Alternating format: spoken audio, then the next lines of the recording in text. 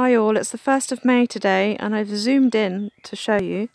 Um, this is my house tucked behind some trees and that is the yurt. And it's got a very pointy roof at the moment and that's partly why I'm showing you this. Um, so at the moment the yurt's got um, a pole in the middle holding up the centre bit and I've come out today with my slightly rusty saw uh, to find either some ash or some hazel poles which I can make a new dome with. So my dome was has got a five foot wheel in the top, it's quite a big one and um, so basically the sticks that I need to find are going to be about six or seven feet long so that it can poke up enough to create a nice dome effect and keep the rain out. Some wild roses. Off we go. Let's see what we can find. I've just spotted something very odd on this oak tree. It's probably very normal.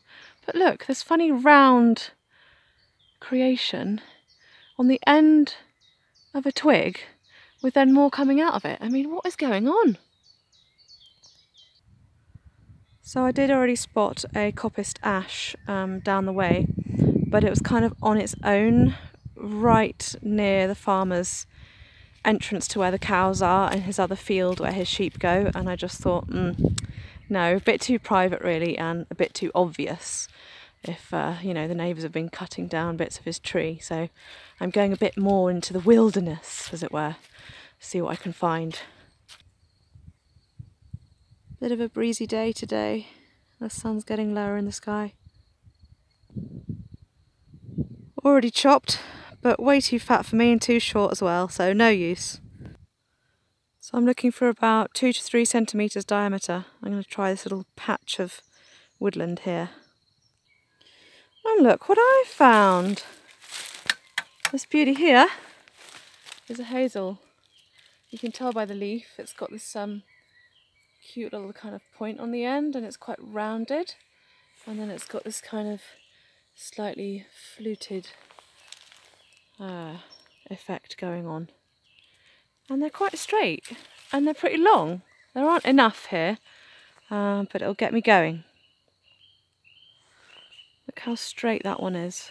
That is a beauty. I'm going to go for that One down, seven to go. I'm going to take them home kind of raw like this, crude, um, because I've got a day off tomorrow and I can work on the dome and get it all done at home because it's getting dark and late so um, I'll just kind of do it as quickly as I can now. I'm umming and ahhing about this one. It's a little bit wobbly and I'm hoping that this dome creation that I make will be good for a number of years so I'm going to try and pick the best ones out. I've just found a kind of natural gully here and there's this beautiful very pale barked tree here. Um, you can't really see the blossom, hang on. I can't get to it but it's got really gorgeous little delicate yellow flowers on it. I reckon either side of this gully was um, some old hedgerows. Um, so that there is um, hazel and so is this one here. But I've got to jump down, it's quite steep. Let's give it a go. There's old mushrooms and fungus and all sorts down here. The adventure continues. So this is what I mean by coppice. Um, it's not one trunk coming up from the ground. It's been, when it was younger, cut down here and more have grown up and are coming out of the ground together. So that's a coppice. And I think there might be a couple of good ones in here for me. Pretty straight, but are they long enough? Let's see. Word of advice. Don't breathe in and keep your mouth closed when you bring down a branch. It had this weird kind of dust all over it and it made me cough loads. Uh, this one had a weakness in it. It just kind of snapped on the way down. So there was a bit there, but it's still long enough, so I'm still going to use it. And the other thing I was going to say is um, a bit like when you're foraging for food with plants, you don't take the whole bunch of plants. So if, if I liked all of these, I wouldn't take it all because it would kind of um, um, disrupt the whole kind of tree too much. So you just take one or two from each coppice and then move on and find some others. So you're just kind of trimming here and there, you're not taking the whole tree. My chosen pieces, they can't be too thin either uh, because then they won't be strong enough to withhold uh, the pressures and the bend um, of basically what it needs to do as the dome. I also don't want this thing going on here, little branches coming off, because it won't create a nice smooth curve when it's up there. So I don't choose those ones either. Okay, I'm going to count up, see how many I've got. I don't think I'm yet at eight, but let's see how I'm doing and then move on. Cool, I've got six and I just spotted another good one on the way down. Just one more beauty and I'm there. I've come to the edge of this little bit of wood and I haven't found my eighth piece. So I'm going to go up this edge here and see if there's anything further around.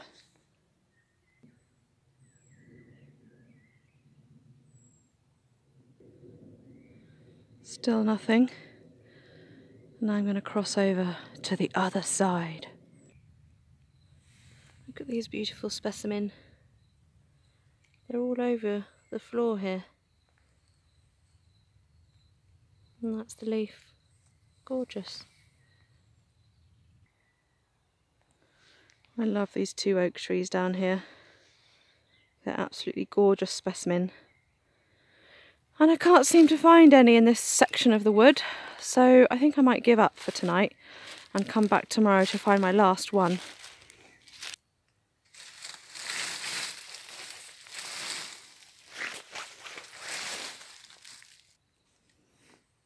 Okay, my last one isn't perfect, but uh, we can't have perfection in nature. So she's got this little thing going on, but um, apart from that, she feels pretty strong, so she's going to work well for this project of mine.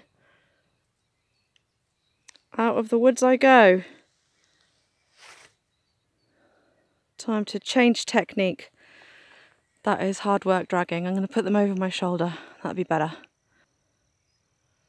I found a good balance point in the middle. So I'm going to give that a shot. I think that'll be less hard work. A little pause halfway home. I hope you've liked my uh, adventures into the undergrowth. Uh, if you're interested, then um, press the like and I can show you how I make my dome or the finished outcome. And then uh, you can see what I actually did with these hazel coppice branches. Thank you everyone and see you again soon. Bye.